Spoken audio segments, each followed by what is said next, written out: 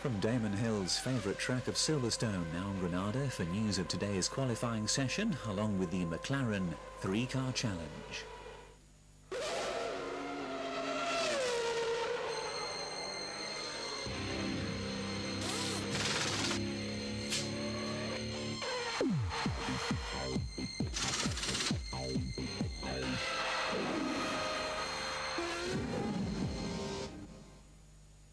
Welcome to Silverstone. They call it the home of British motor racing, and that's exactly what it is. Everybody seems to want to be here. Martin and I are. And in particular, we're in the place they all want to be, the Arrows motorhome. And soon we're going to be talking to Damon Hill. Well, luckily, we at ITV are in the front of the queue to speak to Damon because everybody wants a piece of his time this weekend after his boss, Tom Walkinshaw, told him to pull his finger out. But we're at Silverstone, it's the British Grand Prix, and the crowd will lift them all, not least Damon. In fact, we've got a Damon Hill special coming up, and that's not all. Who's got the biggest jet in Formula One? We're going to tell you. We're also going to show you a unique contest to show just how fast a Formula One car is. And of course, we're going to show you the qualifying.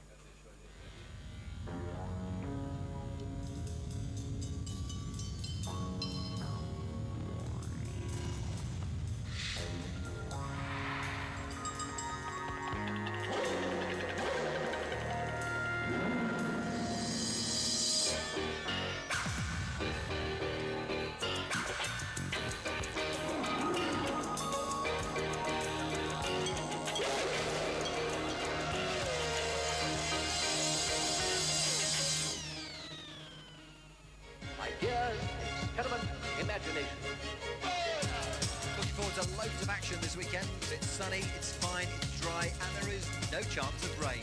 That's the good news. 8770 FM, this is Silverstone Radio on the air for the Grand Prix. Qualifying's going to be interesting in this weather. What about the Brits? How's Damon going to do? On 8770 FM, Silverstone Radio, smoking this weekend. Silverstone's one of the best and most historic of all the modern Grand Prix circuits. In fact, the first World Championship Grand Prix was held here in 1950. I know because I was here. And over the years there have been a lot of changes to it, especially this year. And Martin, as a director of the British Racing Drivers Club who own the circuit, you've had a lot to do with them, haven't you? Well, I can't claim all the credit, but yes, we have improved the circuit. It's faster and it's smoother. We've changed the end of the lap, which we call the complex, and also speeded up the first corner at Copse. Something like four or five seconds a lap faster this year we're expecting. But a lot of people ask me, how does it compare driving a Formula One car and a road car? Well, it is very different, but here we have the answer for you. Formula One is the ultimate challenge of skill, speed and bravery. Over 200 miles an hour on the straights, but hot, sticky tyres give staggeringly short braking distances. But just how comparatively fast is a Grand Prix car? To find out, we're matching two Mercedes-Benz road cars against this year's McLaren Mercedes Grand Prix car round a lap of Silverstone. But we're giving the road cars a big, big start. There they are on the grid and enter the new Mercedes A160. Sports car top man Ian Flux drives it. In the sporty E50 saloon, it's Porsche Super Cup star Johnny Mowlem. And in the Grand Prix McLaren, Scotland's superstar David Coulthard. All set to go, and the little A160 is going to be the first away. Ian Flux turns the key, fires it up, revs it up. Away he goes, and it'll go up to 115 miles an hour on the straight. Meantime, David Coulthard is checking his investments. 15 seconds later, it's Johnny Mowlem's turn to go in the big E50. Five litres. It's a V8 engine, it's got bags of power, and he's going to need it. Ian Flux, well on his way now. Really pushing the little A160. Coulthard getting ready. Mowlem can see the A160 ahead of him, but it's still a long way ahead as Coulthard leisurely gets in the McLaren. Almost 40 seconds gone. Ian Flux is at Beckett's, getting it right on the door handles. He's pushing it as hard as it can go. And look back, there's Mowlem in the black Mercedes. David Coulthard belts up. Mowlem is at Beckett's. Can he catch Flux? But can he stay ahead of David Coulthard when the McLaren starts? It won't be long before he does. There, the red dot is Coulthard. The road cars are on the hangar straight. 750 horsepower. And it's go. Just look at the acceleration as he goes down to Copse Corner. Now we'll see the difference. Mowlem is gaining on Flux, but Coulthard is really on his way. Mowlem is at the end of the hangar straight, but Coulthard is at Maggotts at 170 miles an hour, while the others are in the Vale, where with Ian Flux through Club Corner, look back, there's Mowlem. It's down to about 40 miles an hour for this very, very tight left-hander. And David Coulthard is doing over 100 miles an hour as he comes out of Beckett's on car with Coulthard, up to 170 miles an hour. Coming up to Abbey, it's close. There's the 160. Look back, Mowlem in the E50. Coulthard is eating up the difference. Into Abbey. And where is Coulthard? He's just entering the Vale as Flux comes out of Abbey. Up towards Bridge, the right-hander. This is it. Flux exits the bridge. David Coulthard is coming up to Abbey now. He's doing 170 miles an hour as he approaches. Backs right off. Now, surely he's not going to be able to catch them in the remaining difference, but he comes flying out of bridge. Two Mercedes saloons in front of him. It's going to be mighty, mighty close. Just two corners now. David Coulthard's got the power, but has he got the line? It, it, looks to me as though he's on the wrong line and he's playing with them. He's coming back. He's passing Mowlem. Goes past Mowlem. Mowlem passes Ian Flux in the A160. David Coulthard crosses the line and wins. In 3.2 miles, he's demolished a 72nd start. Fantastic.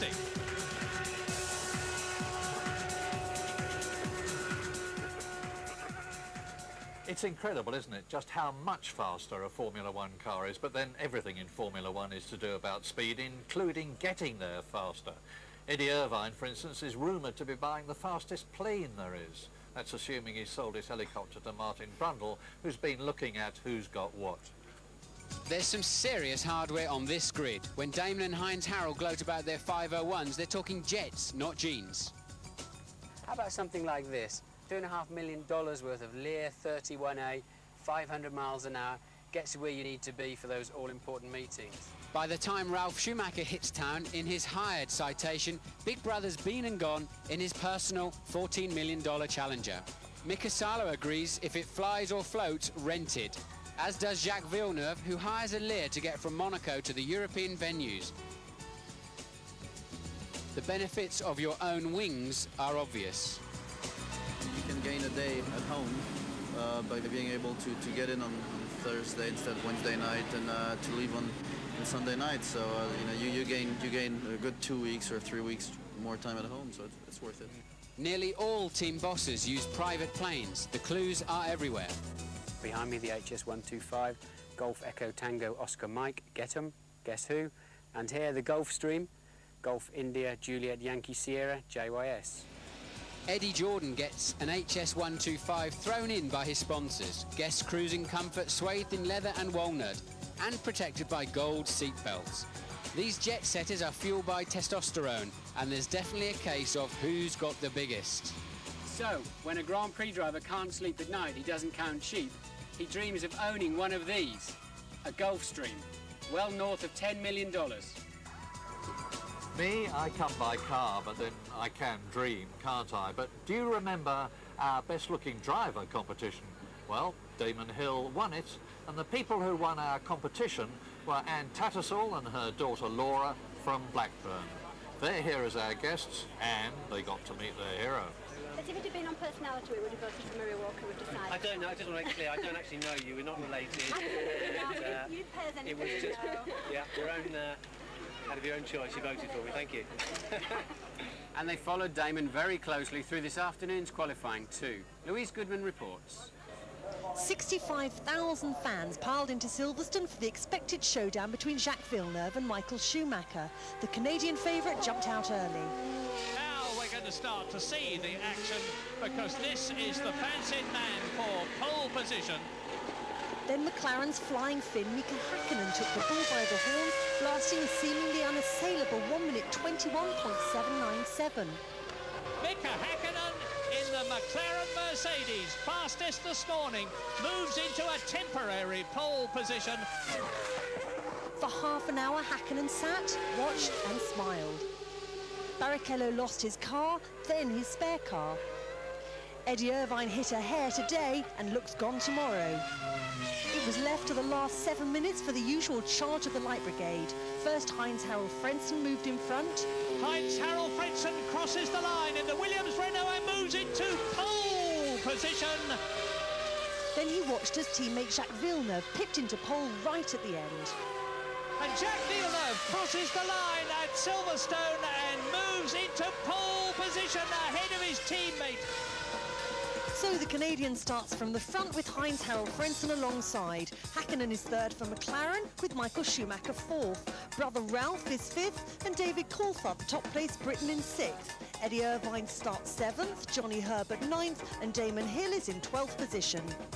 car was good from the first run, but then uh, we did a few changes on the second and third run and uh, made a few mistakes as well on the laps and uh, didn't come, uh, the lap time didn't come and on the last run the clouds came over, the track got slightly quicker again and uh, the lap just came. Very close indeed. I mean, I'm a bit upset because it was very close to pole position today, but you know, Jack and uh, Heinz did a great job and they were able to go front of me. But I maybe could have got quicker if I wouldn't have a traffic in my last run. So a great qualifying session now tomorrow. Can the McLaren beat the Williams? Can it beat the Ferrari? Well, we'll see. But meantime, we're joined by the man everybody wants to talk to, Damon Hill. Damon, it's been a difficult weekend in some ways, but uh, what about 12th on the grid? What about the race tomorrow? And what about the rest of the season? Well, I'm pleased with 12th on the grid. I think that uh, we can get points from there. I think there's every chance that if we get a good start and we run to the finish, we'll be in the points. David, I know exactly the horsepower of your engine. It's a long way short of the guys on the front of the grid. You're just 1.4 seconds off pole. You've made the difference. You must be satisfied with that.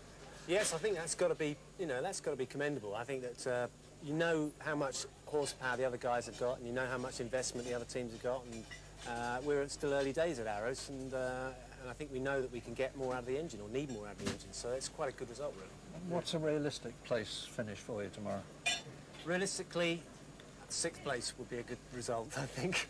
Well, it would indeed. Now, we're going to be on the air at one o'clock tomorrow, an hour before the race begins. Everybody's going to be rooting for Damon, especially us. Join us then.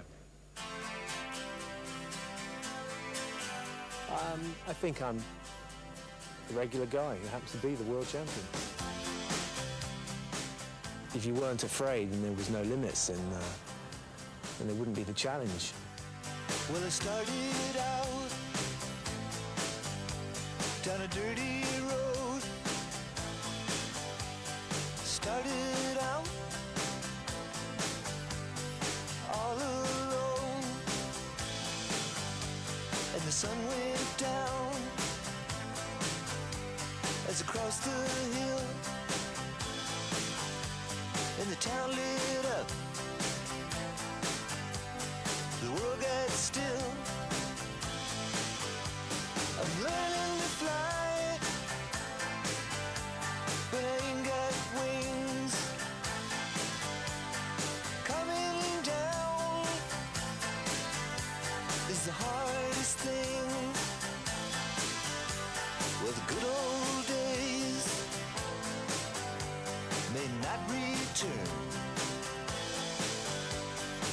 Rocks might melt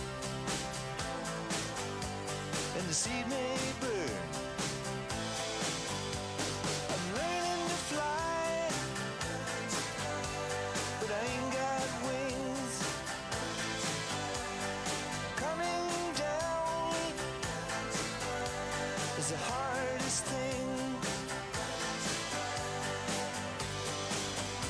Damon, bitter disappointment for you so early in the race. Do you know what I don't know what happened so uh, to cause that, but uh, basically I couldn't accelerate, so I had to park. It was uh, something terminal. So I'm pretty sick, really. Uh, the engine blew up. Yeah. We're just not very fast. Some say life will beat you down.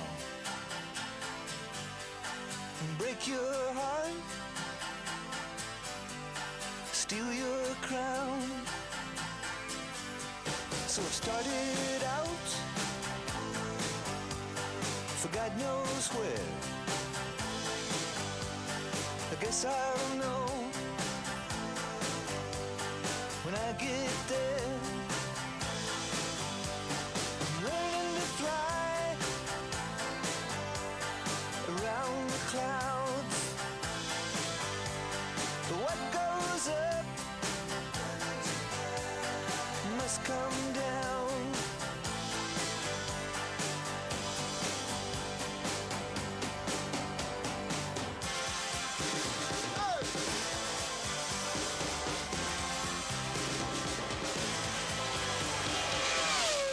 Question is now that I've won the World Championship, where do I go from here?